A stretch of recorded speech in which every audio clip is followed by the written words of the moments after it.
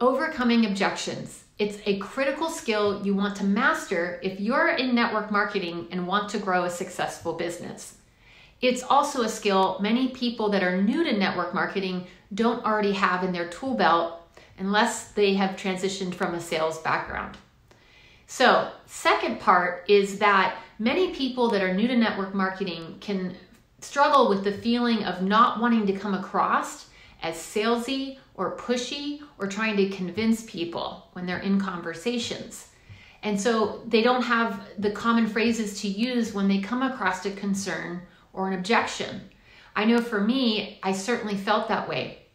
I didn't have a sales experience um, in my background when I came to network marketing, and I didn't want people to think I was trying to convince them of something. So I often didn't know really what to say when people had a concern. And so I sometimes would shy away from saying anything at all, which didn't help. Early in my network marketing career, my mentor taught me a very simple phrase that I could use no matter what objection or concern a customer, potential customer presented. And it was feel, felt, found. Write that down. Feel, felt, found. Here's how it works for any objection. Let's take a common objection or concern. Price. Someone feels like it's too expensive. The first thing I respond to an objection is I understand exactly how you feel. So that's the feel. You want to let them know you're listening and you understand where they're coming from. You get their perspective. That is validating and puts the person at ease immediately.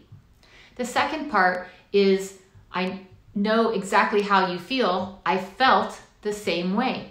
So you're letting them know you can relate to how they're feeling. Now, if you didn't relate to that, if you didn't have that objection or concern when you were first starting, and it is a common objection, you could say, I know exactly how you feel. Many people have felt the same way. So be honest and true about what it is, but know that you can either say you felt the same way or many other people have felt the same way. So again, first two parts are I know exactly how you feel. I felt the same way. And then the last part is found. And that's where you want to kind of show them what you found that changed your mind. So I know exactly how you feel. I felt the same way when I first looked at the product. But what I found was when I compared what I was spending already on things to try to support my energy and weight management I realized that I was already spending almost the same amount as this product cost. And then I was willing to give it a try. So, feel, felt, found. Let's take another objection. Let's take one for the business. A common one that I hear when I'm talking about the opportunity is, oh my gosh, I could never do what you do. I'm not good at sales. How many of you have heard that one? I know exactly how you feel. I certainly felt the same way. When I came to this company, I was in education. I've never been in sales. I didn't think that I could do it either.